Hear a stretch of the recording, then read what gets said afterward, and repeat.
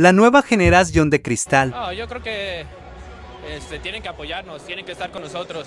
Ningún compañero este, quiere perder, siempre da el máximo, siempre tratamos de ganar, somos ganadores. Y el problema es que a veces los medios son los que, que afectan eso, la relación entre la, la- afición y nosotros. Y creo que tienen que apoyarnos.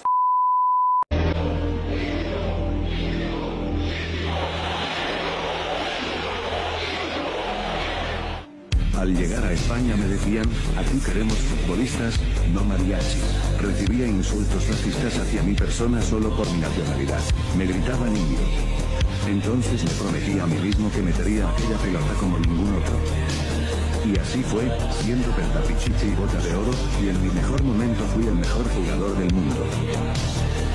Pero Hugo, no puedes poner eso. Entonces pon. Cuando llegué a España, me gritaban indio, cuando me fui, me gritaban Hugo.